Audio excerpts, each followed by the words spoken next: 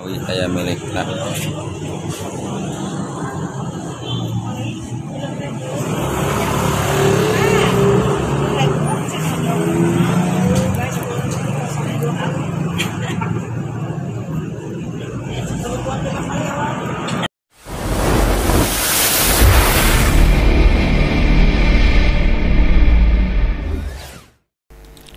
Assalamualaikum warahmatullahi wabarakatuh. Jumpa lagi sahabat Ripat semuanya Seperti yang Anda lihat pada pembukaan bahwa itu merupakan video pelaku yang kebetulan menggunakan apa ya menggunakan kalung.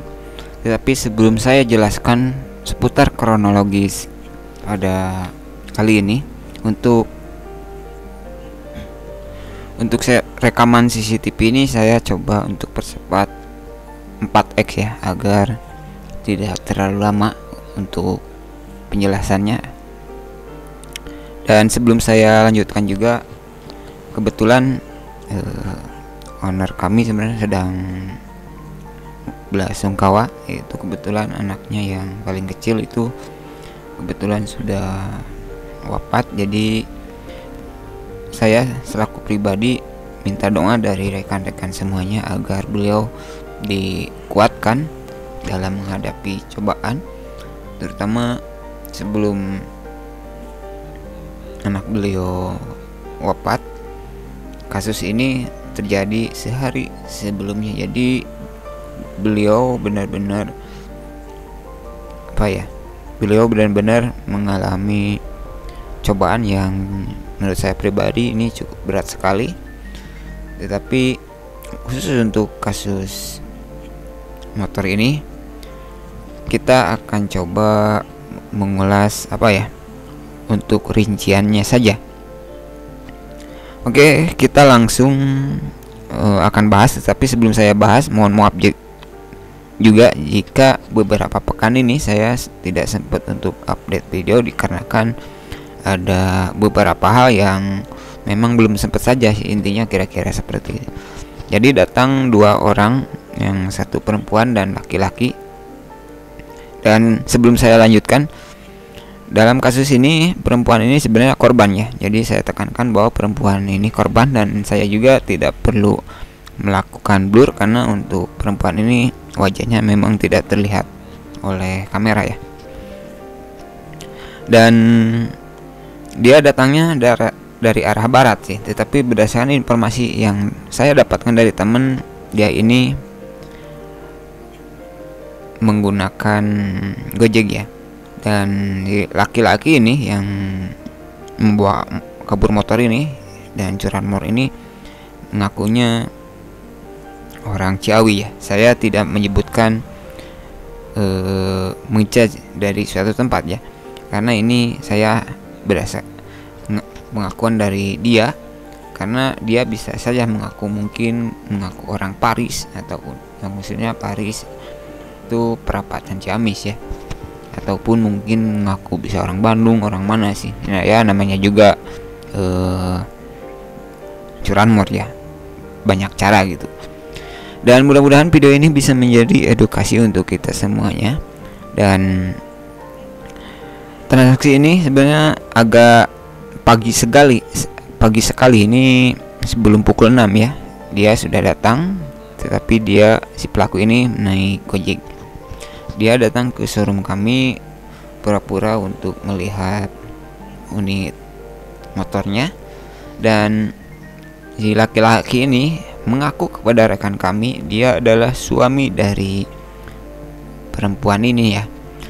Kalau kita asumsikan setelah finish ataupun dari hasil BAP karena memang kasus ini sudah masuk ke Kapolres dan sudah di BAP jadi mungkin korban ini itu maksudnya bukan korban dari kami ya. Kami kalau kami sudah tentu menjadi korban ini untuk perempuannya. Dia juga salah satu korban yang bisa dikatakan sebagai tanda kutip ya. Mungkin mungkin terhip mungkin terhipnotis ya. Karena kalau karena saya dari kami sih tidak terlalu negatif thinking ya.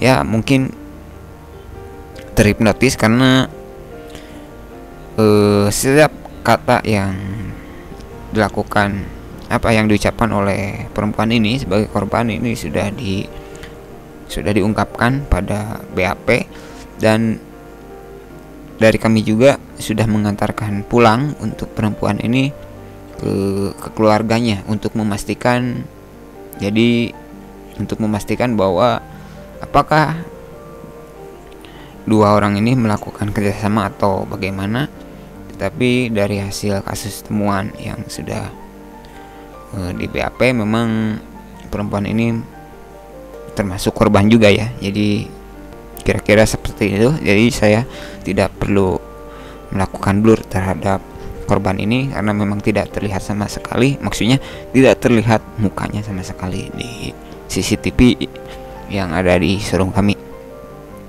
kemudian si pelaku ini yang berbaju apa ya yang berbaju merah putih hitam ini pura-pura melihat motor ya. Kebetulan motor yang dibawa kabur itu motor yang bisa anda lihat pada video itu motor CRF ini untuk Honda CRF ini memang termasuk motor yang ya lumayan lumayan mahal ya.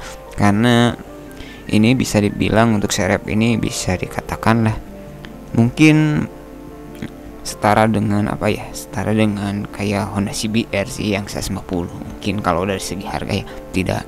Jadi walaupun agak berbeda tapi lah anggaplah gitu. Kalau dibandingkan dengan yang jenis Matic itu harganya jauh berbeda sekali ya. Jadi motor yang dibawa kabur oleh pencuri ini yaitu CRF dan untuk wajah pelaku ini bisa anda lihat di sebelum video ataupun anda bisa lihat ulangannya. Ada bingkai video yang gambarnya lebih kecil yaitu laki-laki yang menggunakan kalung. Dan kebetulan jika anda ada yang mengenali ataupun ada yang melihat orang ini mungkin anda bisa menginformasikannya ke kami. Dan kebetulan sebenarnya kami sudah mengantongi informasi bahwa orang ini ada di tempat ini tetapi kami tidak akan menjelaskannya di sini. Karena ini apa ya karena memang ini kan sudah termasuk ke dalam ya tentu saja ini sudah mel bukan melanggar hukum ya. Kalau kayak gini sih kalau bawa kabur kendaraan ini ya pencuri gitu maksudnya pencuri ya ini sudah tidak perlu saya jelaskan lagi. Tentu saja dia sudah masuk apa ya ya intinya sudah siap sih intinya. Maksudnya sudah siap terkena pasal pencurian. Intinya kira-kira seperti itu. Dan sebenarnya dari kami sendiri dari pihak kami sendiri sebenarnya mengikhlaskan sih kalau karena ini kan e, buat pelajaran untuk kita semuanya bahwa hal ini bisa menjadi edukasi untuk kita semuanya sehingga kita bisa terhindar menjadi hal seperti hal, -hal seperti ini. Dan ada beberapa pertanyaan yang pernah masuk. Kenapa tidak dimintai untuk identitasnya kalau dari kami sendiri sih, kalau dari awal meminta identitas karena kami mempercayai bahwa yang datang itu pasangan karena memang sering ya calon konsumen yang datang ke kami untuk suami istri itu banyak ya bukan satu kali dua kali. Tetapi ternyata ini bisa dijadikan modus untuk pencuri ini. Dan kronologi sederhananya sederhananya korban ini yang perempuan ini mengenal laki-laki ini saya juga tidak tahu ya. Kenalnya dari mana gitu? Apakah dari media sosial atau dari mana? Tetapi yang saya tahu perempuan ini mengenal mengenal laki-laki ini baru sekitar uh, dua minggu. Ya sekitar dua mingguan. Dan saya tidak perlu menjelaskan perempuan ini orang mana untuk karena saya juga harus bisa menjaga privasi dari korban. Dan dan tentu saja kasus ini sudah masuk ke pihak hukum ataupun pihak yang berwajib dan saya mengucapkan terima kasih kepada pihak yang berwajib yang mau mengusut tuntas untuk kasus ini. Mungkin ini bukan kasus pertama kali ya. Kalau tapi, tapi di sini saya menjelaskan seputar konsep ya termasuk cara ataupun model yang mungkin bisa menjadi edukasi ataupun pelajaran untuk kita semuanya. Jadi kita juga harus berhati-hati jika ada orang yang sekiranya uh, pertama itu dia datang mungkin naik kendaraan umum ya. Misalkan dia naik apa gitu. Tapi dia turun kalau anda lihat dari awal dari CCTV dia itu datangnya dari sebelah barat ya karena kebetulan kita ini menghadap showroom kami ini menghadap ke selatan. Kemudian beberapa setelah dia pelaku ini melihat-lihat motor dia itu jalan kaki ya. Jalan kaki tetapi masuk gang ya. Ini juga saya tidak tahu dia masuk gang tetapi entah ke mana. Tapi dia masuk gang ke belakang. Sebenarnya dia masuk gang ini bukan lagi kembali ke sini ya. Tetapi setelah dikonfirmasi pelaku ini bersama korban. Ini pergi ke terminal ya yang ke terminal kota Tasik. Mungkin bagi anda yang ada di kota Tasik mungkin tahu yang terminal baru kota Tasik. Kemudian motor ini sebenarnya masih ada di showroom kami ya sebelum karena kami juga harus menunggu rekan kami untuk membawa kendaraan ini. Dan e, se sebenarnya rekan rekan kami juga sempat bertanya-tanya ini orang ke mana gitu perginya? gitu. Ini dia pergi ke mana? Dan jadi kenapa dia pergi masuk gang gitu? Sebenarnya agak ada agak ganjil juga sebenarnya. Rekan-rekan kami juga tetapi rekan-rekan kami ini e, menganggapnya kita positif thinking saja seperti seperti pada umumnya mungkin dia ada punya urusan ke mana gitu ke belakang atau ke mana kira-kira seperti itu. Tetapi setelah apa ya jadi setelah beberapa saat sebenarnya uh, ada informasi bahwa orang ini sudah intinya sudah menunggu di terminal karena COD-nya dilakukan di terminal bukan di showroom. Karena untuk kas untuk COD ini sebenarnya bukan sekali dua kali ini sudah ratusan kali ya kami lakukan di tempat ataupun COD yang sering kami lakukan di langsung membawa, membawa unitnya secara langsung ke rumahnya kira-kira seperti itu. Karena yang menjadi kepercayaan patokan kami yaitu kami mempercayai uh, dua orang ini pelaku dan korban ini adalah suami istri. Jadi karena kami juga tidak mungkin kan tidak uh, apa ya maksudnya terlalu menjudge ataupun terlalu bertanya-tanya seputar keluarga mereka kan tidak tidak tidak mungkin ya karena itu nanti malah menyinggung ke calon konsumen sih. Jadi kami juga harus bisa, bisa menjaga uh, apa ya hal-hal yang sifatnya yang nantinya malah tidak enak gitu maksudnya ke konsumennya. Jadi untuk menguatkan si korban dari kami gitu si pelaku ini membawa orang perempuan yang jadi korbannya juga. Jadi tentu saja kami mempercayai bahwa ini orang yang serius itu intinya kira-kira seperti itu. Ternyata tren model ini juga eh, sempat sempat di apa ya sempat ada yang bahas dari pihak lainnya. Ataupun apa ya di showroom lainnya. Tetapi kami baru mengetahuinya setelah kejadian sebenarnya. Dan tidak lama kemudian transaksi ataupun ya transaksi dilakukan di terminal. Dan kebetulan untuk surat-surat baik STNK maupun BPKB tentu saja tidak belum kami serahkan ya karena untuk penyerahan STNK dan BPKB adalah kami lakukan setelah transaksi jadi ya jadi setelah transaksi jadi saja kami akan meminta data-data yang dibutuhkan ya Kenapa kami tidak meminta data di awal-awal? Karena itu seperti yang sudah saya jelaskan itu untuk menjaga kepercayaan jadinya. Jadi jangan sampai calon konsumen tersinggung. Jadi seolah-olah kita ini tidak percaya pada mereka. Intinya kira-kira seperti itu. Karena untuk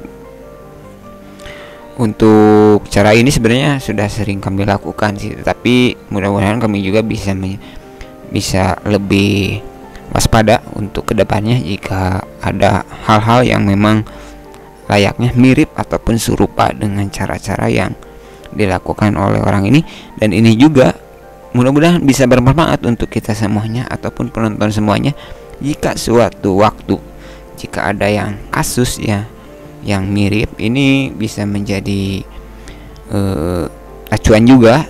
Ya mungkin alternatifnya Anda ketika nanti ya ketika kasusnya ketika laki-laki ini sedang mungkin kita bisa mengambil jeda ya. Misalnya laki-laki ini uh, sedang melihat-lihat kondisi motor ya pura-pura ya lihat kondisi motor mungkin kita bisa ngobrol dulu sama perempuannya gitu. Uh, mungkin pura-pura nanya apa gitu. Jadi itu juga ke depannya bisa menjadi acuan kami untuk meminimalisir ter terjadi hal yang serupa. Apakah dia korban ini dihipnotis atau tidak saya juga tidak tahu ya. Dan bagiannya yang kebetulan mungkin suatu saat nanti melihat wajah pelaku ini mungkin anda bisa memberitahukan kepada kami. Tetapi kalau bagi kami ini mudah-mudahan orang ini disolehkan saja sih kalau dari kami ya. Karena kami juga tidak akan ngapa-ngapain sih kalau saya pribadi ini. Karena kan kita tidak boleh main hakim sendiri sih walaupun sudah ketangkep. Ini biarkan proses hukum yang berjalan saja. Lo lagian kan yang rugi buat bukan buat kita. Yang rugi secara dunia buat dia juga yang rugi nanti buat akhirat buat dia juga. Karena penyesalan itu tidak ada yang di awal ya. Semua penyesalan itu selalu sifatnya yang terakhir itu nggak ada yang jarang kalau orang yang menyesal di awal itu apalagi kayak kayak curanmor seperti ini sih nggak tahu sih kalau saya ya. Apakah dia merasa berdosa atau tidak saya juga tidak tahu sih. Karena atau mungkin juga dia sudah pekerjaannya seperti itu saya juga tidak tahu. Gini tapi sebenarnya ini ada kabarnya juga sih bahwa orang ini pergi ke ini. Tapi saya belum bisa menginformasikannya di sini karena ini masih dalam kajian untuk uh, pelaku ini ya. Ya mudah-mudahan dari beberapa kejadian ini terutama dari owner kami yang anaknya wafat pada hari pada hari Selasa ya pada malam Selasa ini mudah-mudahan uh, terutama untuk owner sendiri untuk disabarkan dalam menghadapi cobaan yang beruntun ini dan mudah-mudahan juga buat kami juga ini bisa menjadi edukasi untuk uh, lebih waspada sih intinya. Karena untuk kasus seperti ini bukan satu kali ya menimpa kami tetapi modelnya yang saja yang berbeda gitu dengan cara-caranya yang berbeda. Dan untuk kronologisnya sudah sudah saya bahas. Anda tinggal lihat-lihat lagi video-video yang sebelumnya yang sudah kami bahas seputar kasus-kasus ini karena kasus-kasus seperti ini e, tidak terjadi satu kali dua kali. Ya dan ini merupakan model terbaru yang kami tepuka, temukan untuk kasus ini. Dan mudah-mudahan informasi ini bisa bermanfaat untuk kita semuanya. Dan saya mohon doanya untuk rekan-rekan semuanya. Terutama semoga amal kebaikan dari almarhum diterima di sisinya. Dan semoga untuk orang tuanya untuk teteh dan untuk AA-nya uh, disabarkan ya. Jadi ini mungkin berupa ujian ya untuk gitu kita semuanya. Dan saya sendiri gitu selaku editor ataupun yang mengelola channel ini gitu. Uh, mohon maaf yang sebesar-besarnya. Dan saya juga kan setiap harus mengupload video kan saya juga membutuhkan izin gitu dari owner saya gitu. Karena uh, saya juga harus menghargai gitu dari apa ya dari pemilik usaha ya jadi dari owner dari owner saya intinya kira-kira seperti itu. Dan saya sekali lagi minta doanya untuk rekan-rekan semuanya. Kalau soal kehilangan kendaraan ini kami sebenarnya sudah ikhlas ya. Untuk kendaraan ini tapi kenapa saya bahas? Ini saya tidak ingin apakah saya harus motor ini kembali? Tidak sih kami tidak seperti itu. Kami sudah mengilasan untuk uh, kendaraan ini. Kalaupun kembali kami alhamdulillah kalaupun tidak kembali kami tidak apa-apa. Yang penting mudah-mudahan orang ini disolehkan dan ya intinya mudah-mudahan orang ini bisa taubat saja sih intinya kira-kira seperti itu. Dan mudah-mudahan owner saya juga dikuatkan dalam menghadapi beberapa cobaan yang pada bulan ini memang beruntun sekali ya. Yang saya minta doanya dan saya tidak minta apa-apa dari rekan-rekan semuanya. Cukup cukup didoakan juga kami mengucapkan banyak terima kasih. Dan saya juga saya selaku uh, editor dari channel ini juga mengucapkan banyak terima kasih yang sudah menyempatkan waktunya untuk menonton video ini. Dan kebetulan saya mengupload video di malam hari dikarenakan kebetulan saya sedang jaga sebenarnya ya. Untuk jadi ya intinya kita untuk jaga-jaga saja sih. Mudah-mudahan tidak ada apa-apa ya.